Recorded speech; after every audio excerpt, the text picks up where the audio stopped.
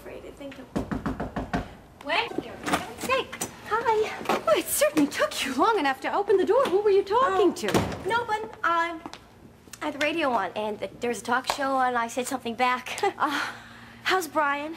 Well, he could be better, but at least he's out of jail. Fortunately, I do know some of the right people in Washington. Yeah. Well, uh, he- how's he taking it?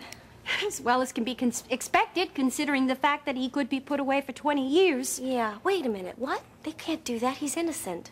Darling, somebody has done a very thorough job of stacking all the evidence against him. It is going to be hard to prove that he was set up with those drugs. No, but Brian's been in tough spots before. Not tough like this, not. I've hired some of the best lawyers I could. You know, it really is cold in here.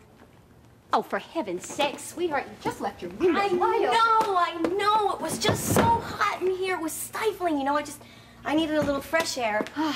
Well, anyway, I wanted to bring Brian back with me, but the judge absolutely refused. I begged and Mm-hmm. I pleaded, and I said, I said, families should be together on the holidays. Yeah. Do you know what that man said to me? No. He said, the law is the law, madam. Yeah, well, you did your absolute best. I know, but it's not going to be a very happy holiday. Hey, wait a minute. What are you talking about? We still have each other. Yes, you're right, we do, and I'm thankful.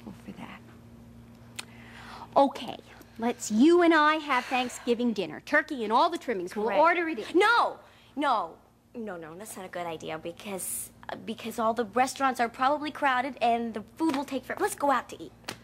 Oh, you may be right. Just give me a few minutes to put my feet up. No, Mom, come on. It's gonna be jammed. We're gonna have to wait online. Do you want to wait online? I really don't think one minute more But I'm absolutely starving. I'm famished. Please, let's go now. I'm so hungry. Come on.